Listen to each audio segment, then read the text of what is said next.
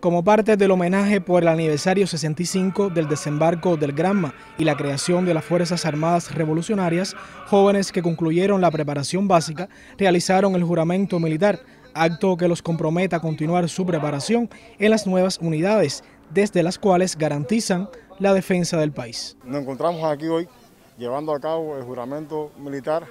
de lo que será su vida en la Fuerza Armada, donde eh, nosotros siempre los preparamos con el principio de respetar siempre a la revolución, eh, respetar siempre a nuestros mártires, seguir la idea única de lo que nuestro comandante en jefe nos enseñó, que es mantener el socialismo en alto, mantener en alto la revolución. Y nada, eh, hoy un día de fiesta, hoy un día de, alegría para ellos, ya que esta es eh, el preámbulo de lo que va a ser su vida en la Fuerza Armada,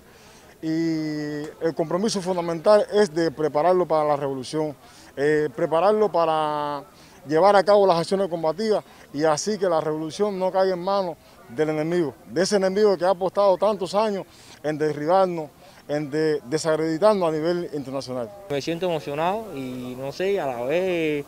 eh, ansioso. Eh, terminamos estos 15 días previa por el problema que hubo de la COVID y ahora nos digerimos para nuestras unidades, mucho para La Habana, Matanzas, JT, y no sé, emocionado, esta vía militar, que es nuevo para nosotros. Jóvenes que al comenzar una nueva experiencia en las filas del servicio militar activo reafirman su compromiso con la historia patria. Desde Cienfuegos, Yuniel González Hernández, Sistema Informativo de la Televisión Cubana.